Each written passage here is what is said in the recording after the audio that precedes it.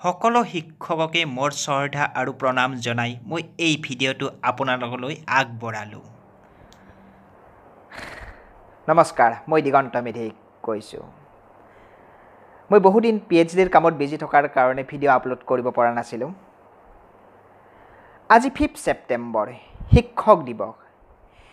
এই শিক্ষক দিৱসেৰে মই মোৰ পঢ়া জীৱনত লগ পোৱা সকলো শিক্ষাগুৰুসকল মোৰ মা দেউতাৰ পৰা আৰম্ভ কৰি প্ৰাইমাৰী স্কুলৰ হাইস্কুলত কলেজত, ইউনিভাৰ্চিটিত, বি এড কলেজত, ডি এল এড কলেজত লগ পোৱা সকলোকে মই শ্ৰদ্ধাৰে প্ৰণাম জনাইছোঁ আৰু আপোনালোকক আন্তৰিক অভিনন্দন জনাইছোঁ যে আপোনালোকৰ বাবেই আমাৰ দেশখন, আমাৰ সমাজখন সুচাৰুৰূপে চালিত হৈ আছে।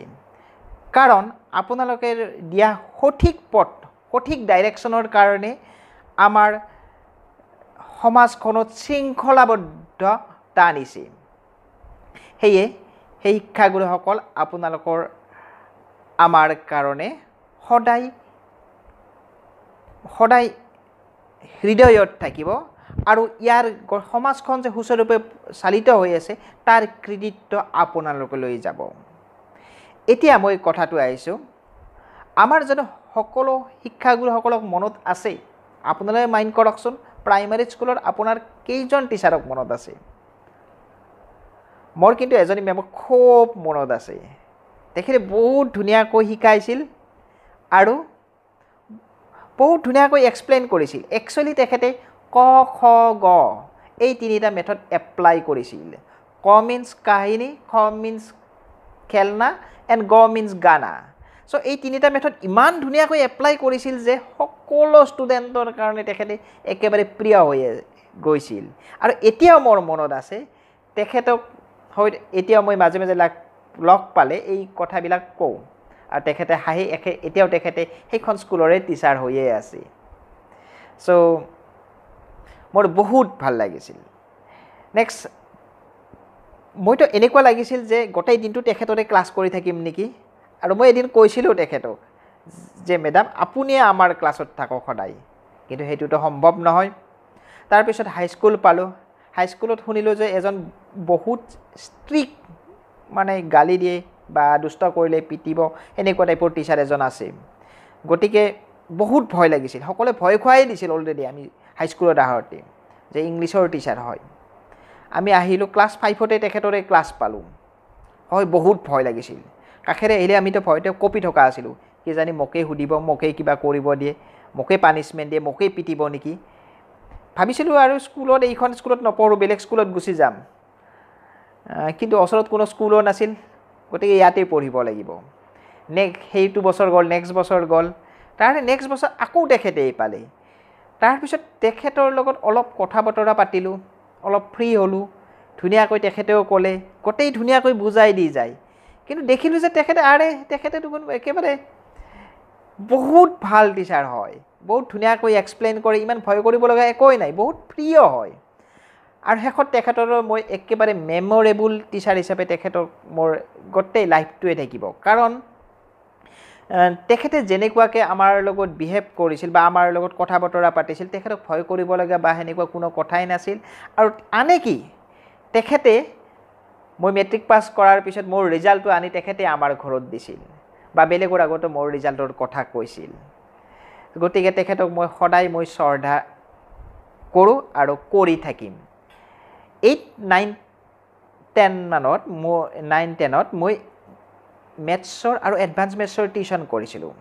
ছাৰজন এতিয়াও আছে ৰিটায়াৰ্ড হৈছে বাট বেলেগ এখন প্ৰাইভেট স্কুলত কৰি আছে। আৰু তেখেতৰ পৰাই মই মেথামেটিক্স মই শিকিছোঁ বেচিক কনচেপ্ট আৰু তেখেতৰ কাৰণে হয়তো মই মাষ্টাৰ ডিগ্ৰীত আহি মেথামেটিক্স মেজৰ লৈছোঁ।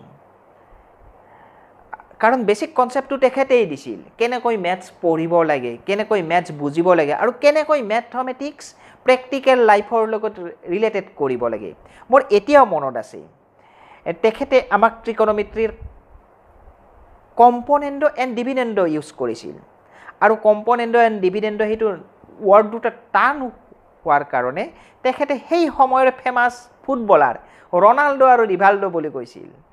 আৰু হয়তো এতিয়াও মোৰ মনত আছে তেখেতে কোৱা আৰু সেই ছেম টেকনিকটো মই এতিয়া মোৰ ষ্টুডেণ্টসকলৰ লগত এপ্লাই কৰোঁ। তেখেতলৈ মই পৰম শ্ৰদ্ধা জনাইছোঁ এই শিক্ষক দিৱসৰ দিনটোতে। তাৰপিছত কলেজলৈ গ'লোঁ। কলেজতো বহুত মেমৰেবল ডেট মিনছ বহুত ভাল লগা টিচাৰ আছিল। তাৰপিছত ইউনিভাৰ্চিটি পালোঁ। ইউনিভাৰ্চিটি তেজপুৰ ইউনিভাৰ্চিটি বাপাৰে! কি ষ্ট্ৰিক কি ডিচিপ্লিন মেইনটেইন কৰাটোৱেই বহুত টান। এদিনত তিনিটা ক্লাছ থাকে এটা ক্লাছত টু আৱাৰ্ছ আমিতো বহি বহিয়ে লিখি থাকোঁ কিন্তু ছাৰজনে যে একেবাৰে থিয় হৈয়ে কৈ থাকে থিয় হৈয়ে এক্সপ্লেইন কৰি থাকে মই তেতিয়াই ভাবিছিলোঁ মই আৰু শিক্ষকতা কেতিয়াও নকৰোঁ।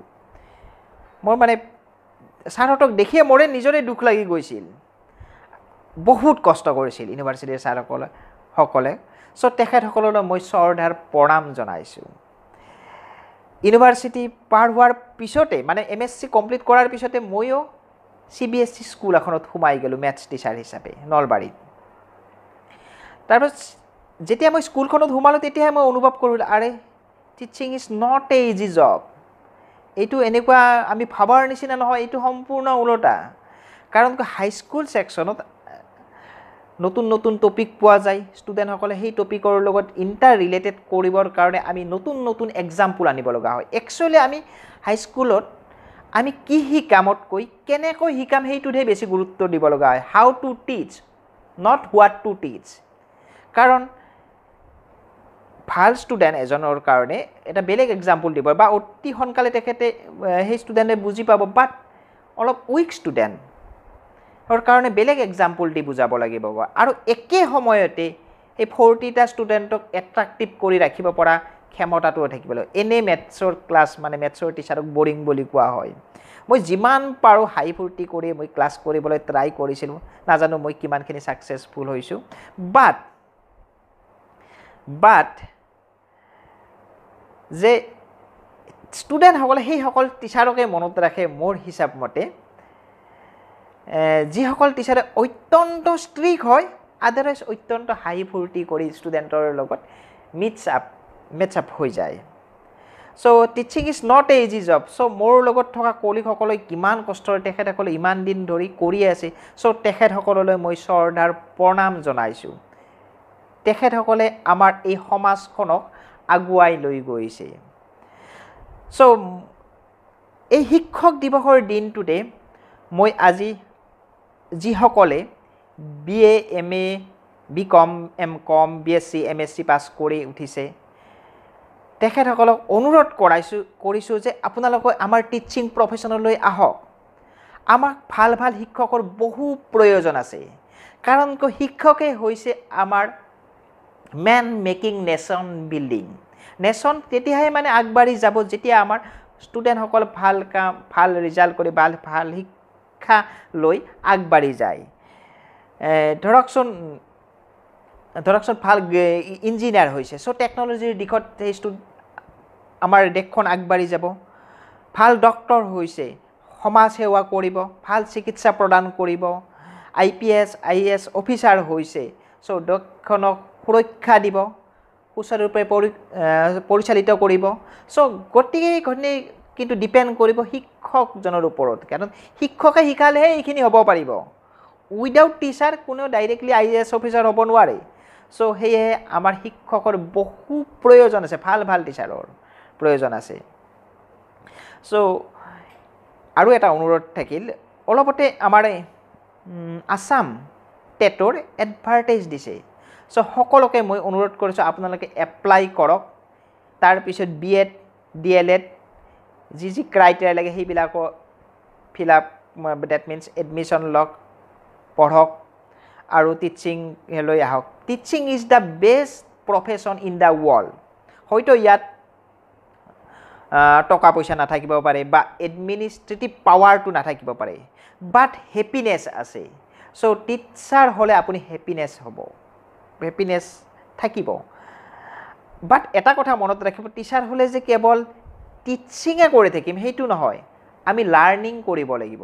আমাৰ বৰ্তমান যিসকল টিচাৰ আছে ভাল ছাকচেছফুল টিচাৰ সিহঁতে সদায় লাৰ্ণিং কৰে। তাৰপিছতহে আমি সেই কৰিব পাৰিম। মানে ষ্টুডেণ্টক দিব পাৰিম টিচিং কৰিব পাৰিম। সেয়েহে teacher is not a only teaching it is also' a learning and teaching so' তেতিয়াহে আমি ষ্টুডেণ্টক ভাল এণ্ড সুচাৰুৰূপে আগবঢ়াব পাৰিম। চ' সকলোকে অনুৰোধ থাকিল আহক টিচিং প্ৰফেশ্যনলৈ আৰু আমাৰ শিক্ষকক আকৌ মই এবাৰ প্ৰণাম জনাই মই মোৰ এই ভিডিঅ'টো ইয়াতে সামৰণি মাৰিছোঁ। ধন্যবাদ।